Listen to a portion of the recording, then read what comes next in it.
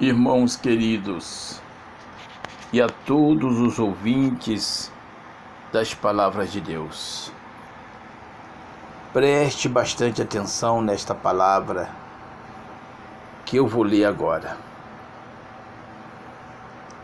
Está escrito aqui em Apocalipse, capítulo 20. Satanás é amarrado por mil anos os fiéis reinam com Cristo. E vi descer do céu um anjo que tinha a chave do abismo e uma grande cadeia na sua mão. Ele prendeu o dragão, a antiga serpente, que é o diabo, e Satanás, e amarrou-o por mil anos, e lançou-o no abismo, e ali o encerrou e pôs selo sobre ele, para que mais não engane as nações, até que os mil anos se acabem. E depois importa que seja solto por um pouco de tempo. E vi tronos e assentaram-se sobre eles, e foi-lhes dado o poder de julgar. E vi as almas daqueles que foram degolados pelo testemunho de Jesus e pela palavra de Deus, e que não adoraram a besta nem a sua imagem, e não receberam o sinal em suas testas, nem em suas mãos, e viveram e reinaram com Cristo durante mil anos. Mas os outros mortos não reviveram, até que os mil anos se acabaram. Esta é a primeira ressurreição. Bem-aventurado e santo aquele que tem parte na primeira ressurreição. Sobre estes não tem poder a segunda morte, mas serão sacerdotes de Deus e de Cristo e reinarão com ele mil anos. E acabando seus mil anos, Satanás será solto da sua prisão e sairá a enganar as nações que estão sobre os quatro cantos da terra, Gog e Magog, cujo número é como a areia do mar, para juntar em batalha. E subiram sobre a largura da terra e cercaram o arraial dos santos e a cidade amada, mas desceu fogo do céu e os devorou. E o diabo que os enganava foi lançado no lago de fogo e enxofre, onde está a besta e o falso profeta, e de dia e de noite serão atormentados para todo sempre.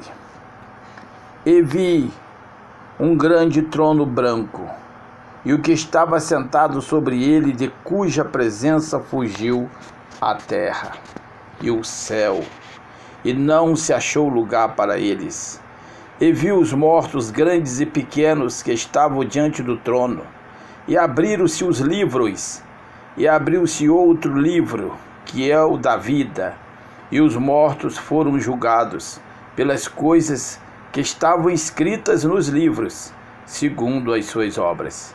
E deu mal aos mortos que nele havia, e a morte e o inferno deram os mortos que neles havia, e foram julgados cada um segundo as suas obras e a morte e o inferno foram lançados no lago de fogo. Esta é a segunda morte.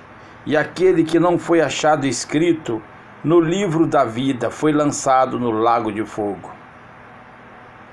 E vi um novo céu e uma nova terra, porque já o primeiro céu e a primeira terra passaram, e o mar já não existe. E eu, João, vi a santa cidade a nova Jerusalém, que de Deus descia do céu adereçada, como a esposa ataviada para o seu marido. E ouvi uma grande voz do céu que dizia: Eis aqui o tabernáculo de Deus com os homens, pois com eles habitará, e eles serão o seu povo, e o mesmo Deus estará com eles e será o seu Deus. E Deus limpará de seus olhos toda lágrima e não haverá mais morte, nem pranto, nem clamor, nem dor, porque já as primeiras coisas são passadas. E o que estava sentado sobre o trono disse: Eis que faço novas todas as coisas. E disse-me: Escreve, porque estas palavras são verdadeiras e fiéis. E disse-me mais: Está cumprido. Eu sou o Alfa e o Ômega, o princípio e o fim. A quem quer que tiver sede, de graça darei da fonte da água da vida. Quem vencer, herdará todas as coisas. Eu serei seu Deus, e ele será meu filho. Mas quanto aos tímidos, e aos incrédulos, e aos abomináveis, e aos homicidas, e aos fornicários, e aos feiticeiros, e aos idólatras, e a todos os mentirosos. A sua parte será no lago que arde, com fogo e enxofre, o que é a segunda morte. Queridos irmãos, é uma palavra forte.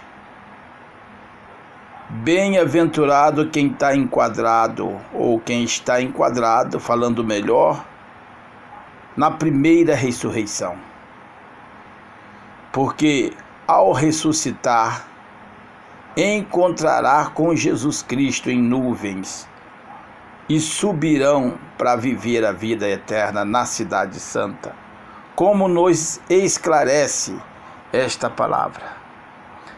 Aqueles que ressuscitarem na segunda ressurreição vão ser julgados segundo as suas obras.